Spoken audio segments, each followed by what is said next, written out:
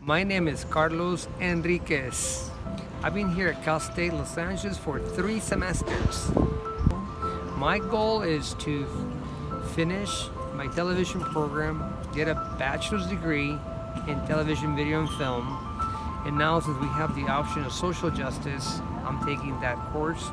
And also I'm taking the route for a minor in entertainment marketing. Before I came to Cal State LA, I was working in the industry in a post-production house, which was a movie lab in Burbank, California. After working there for 24 and a half years, I was laid off.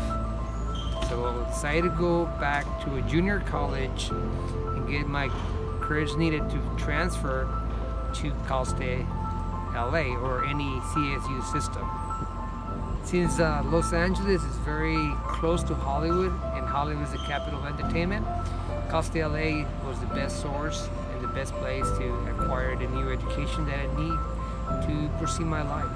Currently, I'm graduating in December. So yes, I am considering other schools.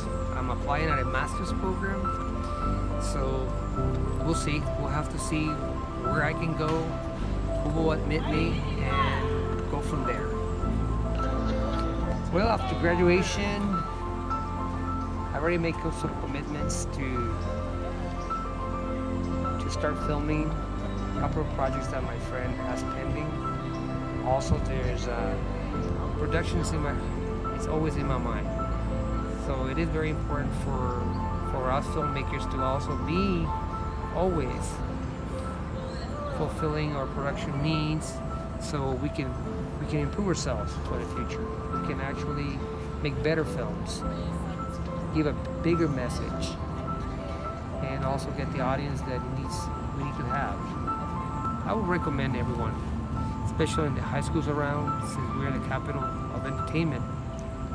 Cal State LA is so close to everything here in Hollywood, especially equipment, especially camera rentals. So yeah, it is very important for all the high school kids to consider Cal State LA. Not just for the film program, but there's also many different programs here at Cal State that can improve your life. And education, which is the most important thing for our community, which makes a better citizen.